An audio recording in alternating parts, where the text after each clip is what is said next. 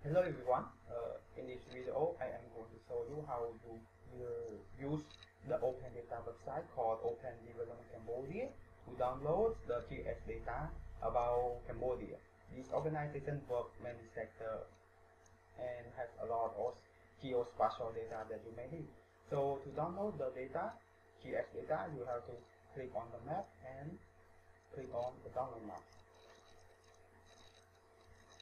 So after you click on the download map, you will go to the map catalog, and the map catalog has uh, a lot of maps available for you to download uh, in many extensions. And you can go by one and click one, two, three to see how many maps that uh, this organization have, or you can search in the text search to find uh, the map that you want. For example, I want to download the, the poverty. I want to download the poverty GIS data in Cambodia, poverty rate or population census. So I type all poverty and I select the search filter. Yeah, and here uh, is the result. We have three. We have poor household 2010, poor household 2011, and Cambodia population and poverty rate 2015 and I want to download this one. And in this in, in this at, at this time you can click on the picture and then you will see uh, the map. And you can sell the JPEG map. But for me I want the GIS data so I click on the name of it. And you will go to the data set. Uh, at this stage, uh, the data set has a lot of file extensions that you can download, like shapefile, KML for for Google Earth, GeoJSON for some uh, applications, CSV and JPEG for the map.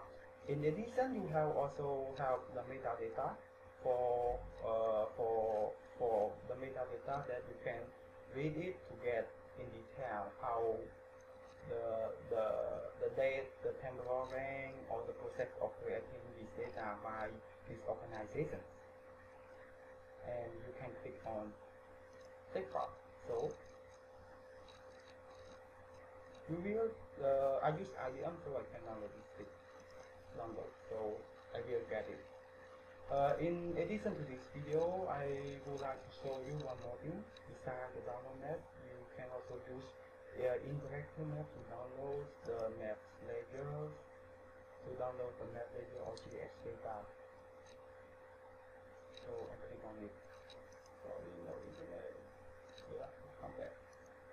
So, uh, on the right hand side, you can see many categories and you can click anywhere you want. For example, I click on the family less than 1 hectare, I see the marks. And then I want to download this kind of data, I can click sign here. When I click here, you will, uh, I will, it will, it will take me to the download data set like here. After I click it, it shows the community database that has the data for you to download and you can click for file. you can download click the file again and if you want to download the JPEG you can click on the JPEG. Thank you very much.